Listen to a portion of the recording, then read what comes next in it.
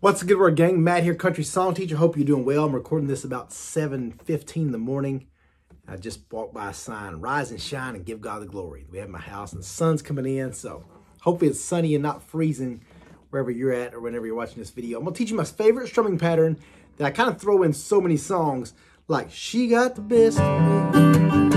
Okay, start that over, I was off key. Ready? She got the best of me. There we go.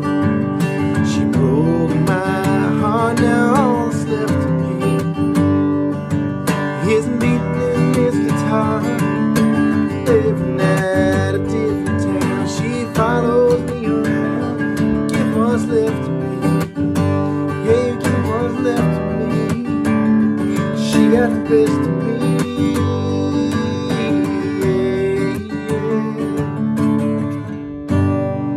Use that strumming pattern, that song, in so many Luke Combs songs.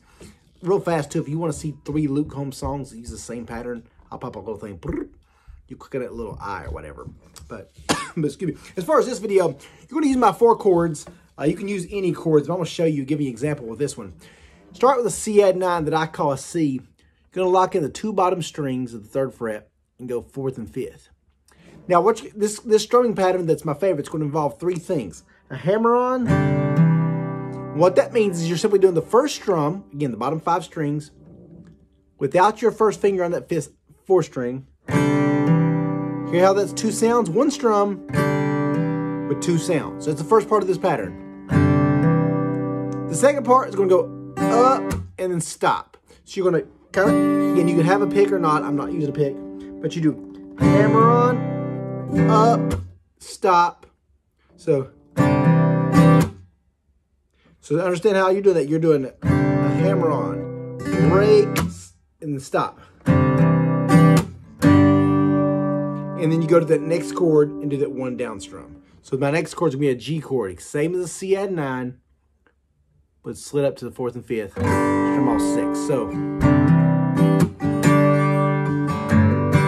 after you get to that chord, that one strum, you're going to hammer on and do the same thing on the next two chords as you do those two chords.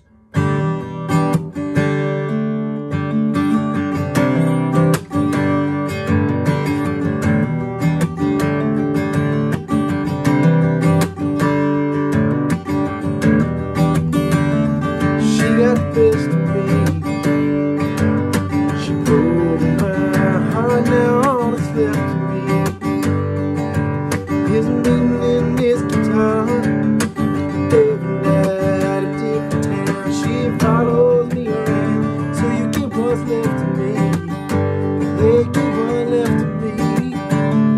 She you see the so forth. So you're gonna be, if you're a beginner, especially, you're gonna start out. It's gonna be a little bit slow. That's okay, guys hang in there.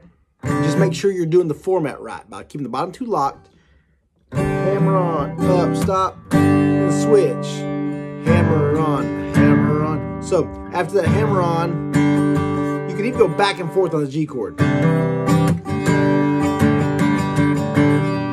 Then go back to hammer on. On the E minor, I'm hammering on both strings. So, and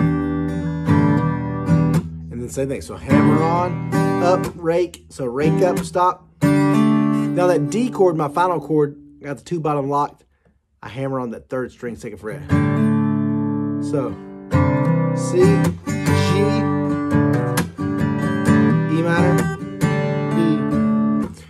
also adds that kind of drum. I love strumming patterns like this that have kind of a drum beat to it.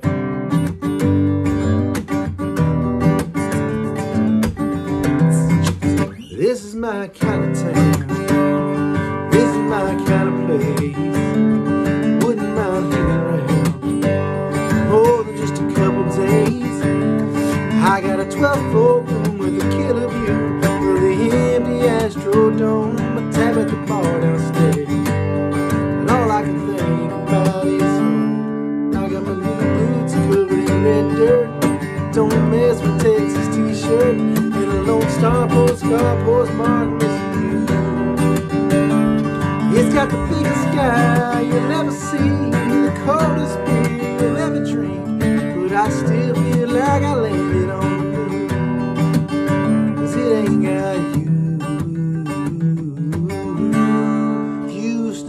got a problem. Another Luke Combs jam. Y'all know I like some Luke Combs.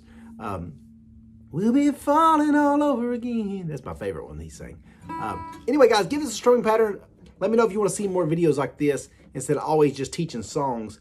I want to make sure I, I, I show you a few little tricks there.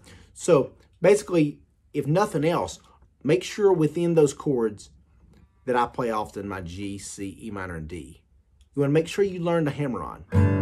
And it's simply just playing the, the chord, the first strum, without your first finger on it. On it. And you put that, put that down while the chord's ringing out.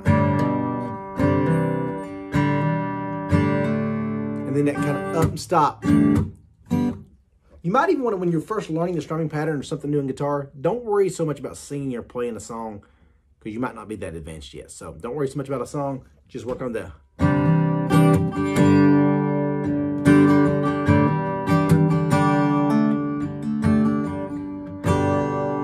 Hope this helps you guys out. Check out my website, countrysongteacher.com. Subscribe to all three of my channels, Acoustic Selection, Country Song Teacher, and just my name, Matt McCoy. And I would sure appreciate it. Got my little guys. Oh, I thought I had my little guys out here. Smash that like button and subscribe if you haven't. Guys and guys, have a great day. Holla.